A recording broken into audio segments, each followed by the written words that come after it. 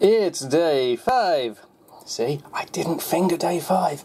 It's day five of chocolate versus Lego versus Notlate. Yes, this is really the Notlate though, isn't it?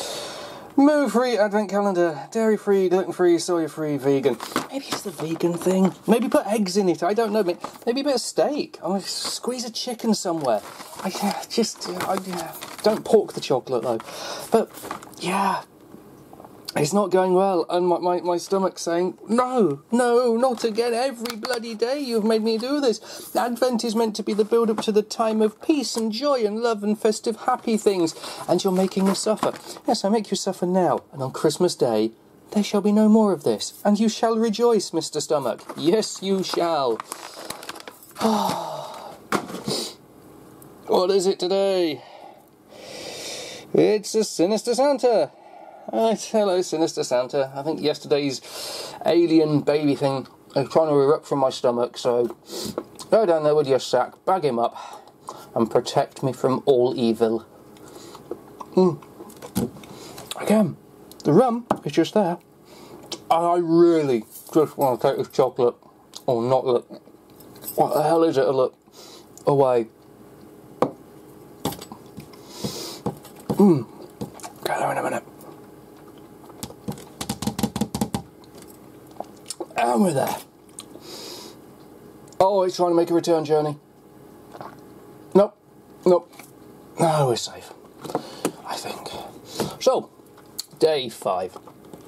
Day five. In Western culture, day five can be found by finding the number five.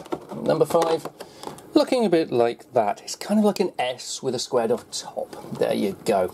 You learn all sorts on this channel. Hello, minifig. Oh, I'm going to try not to throw up on you. Hi, God. Today's chocolate has been a particularly bad one, even though it's identical to the previous one. Ah, Means at least we can get to the rum all the quicker because it's a mini bag. Oh, I say that, but I am struggling so hard to maintain composure, I can't open a bag. Right, there we go. It's a minifig. It's it's a minifig with. Who the hell are you? Who are these people? What are these things? I might have an identity crisis by the end of this advent. I currently know nothing about anything. Okay, he is a person. I'm going to guess you're not going to see much at all if I hold it below the camera. You're not going to see a lot of Rogue One in this because Rogue One. Is that PG 13? Might have been PG 13. Um, very good, but kind of on the dark and I'm going to say violent. I mean, Star Wars, start getting blown up all over the place. Stormtroopers being papa Bill dead. It's kind of violent anyway. I mean, and yet it was you in the well 70s. I guess it came out. I was going to say 80s, but yeah. Um, but Rogue One, perhaps a little bit less than kid friendly, really. So. I don't know.